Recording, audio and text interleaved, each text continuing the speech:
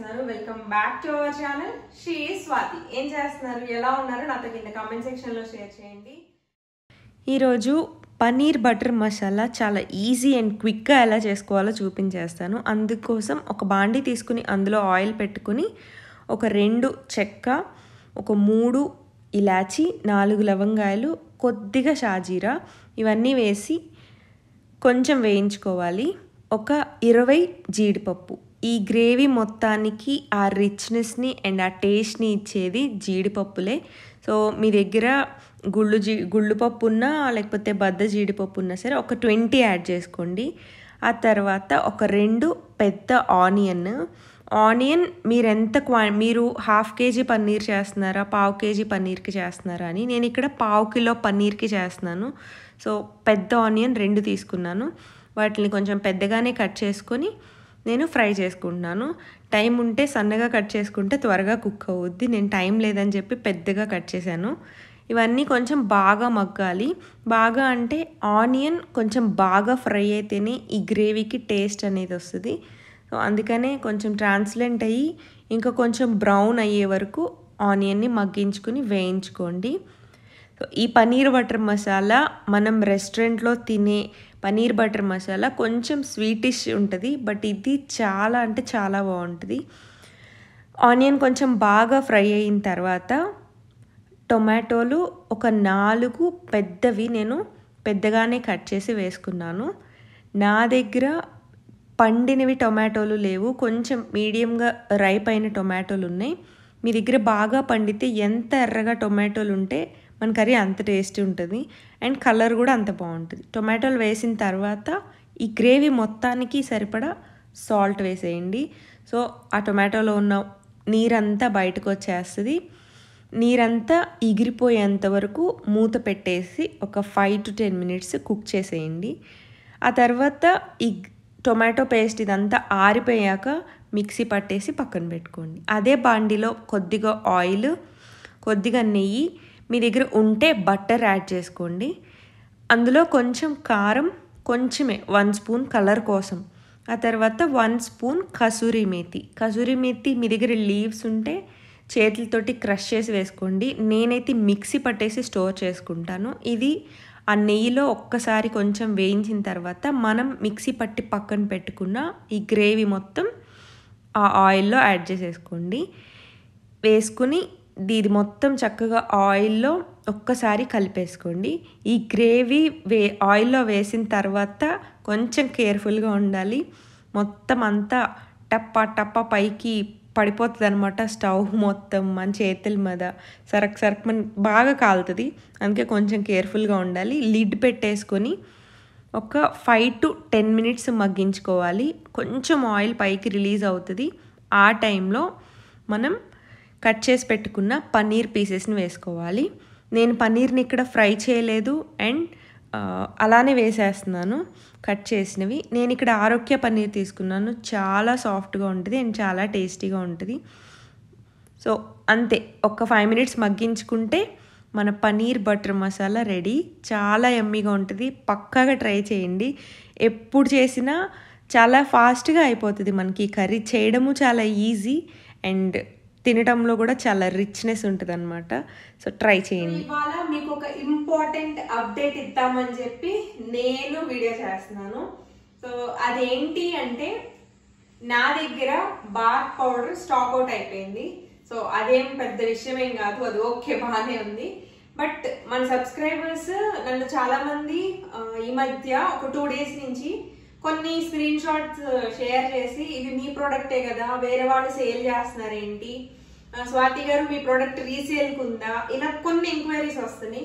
బల్క్లో ఇస్తారా మాకు బాత్ పౌడర్ అని చెప్పి. ఫస్ట్ థింగ్ ఏంటంటే నేను ఈ బాత్ పౌడర్ చేయాలి బిజినెస్ చేయాలి అనేది నా ఇంటెన్షన్ కానే కాదు. మన సబ్స్క్రైబర్స్కి అయితే అర్థమవుద్ది. ఇది నేను బలవంతంగా స్టార్ట్ చేసిన ఒక మంచి ప్రోడక్ట్ అని చెప్తాను.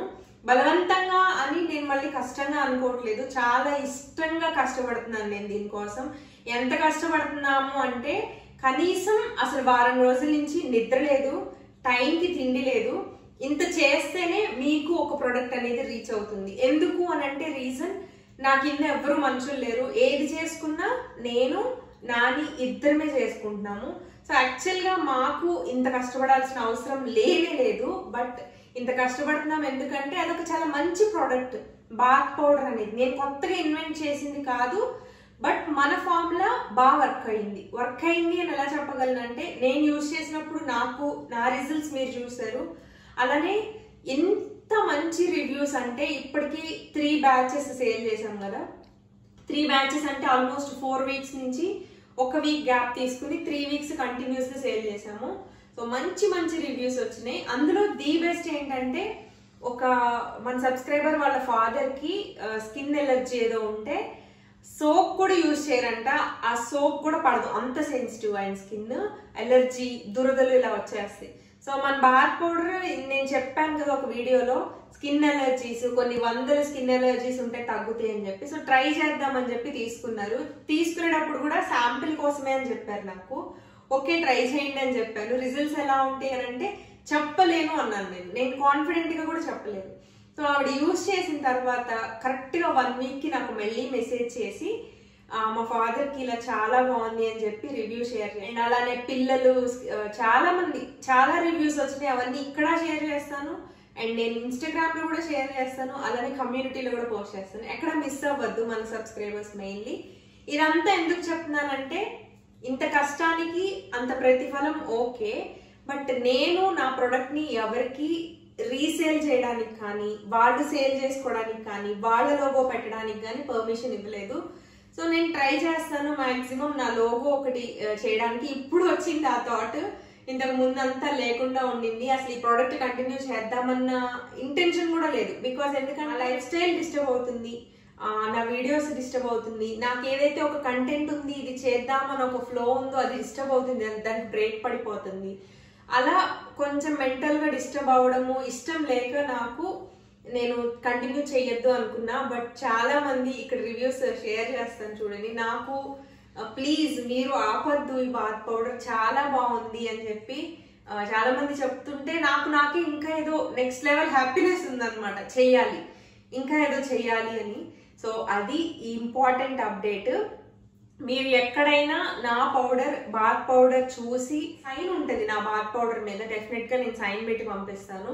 మన లోగో వచ్చే వరకు మన సైనే మన సిగ్నేచర్ అనమాట అది చూస్తే కనుక నేను నా ప్రోడక్ట్ ఎవరికి రీసేల్కి ఇవ్వట్లేదు అండ్ నేను నా ప్రోడక్ట్ ఎవరికి పర్మిషన్ కూడా ఇవ్వట్లేదు అనమాట ఇదొకటి ఒక చిన్న అప్డేట్ చాలా మంది అర్థం చేసుకోకుండా నన్ను రీసేల్కి ఇవ్వండి లేకపోతే ఆ ఫైవ్ ఇంగ్రీడియంట్స్ అంటే ఏంటో చెప్పేసేయండి మేము చేసుకుంటాం మేము సేల్ చేసుకుంటాం అని అడుగుతా ఉన్నారు.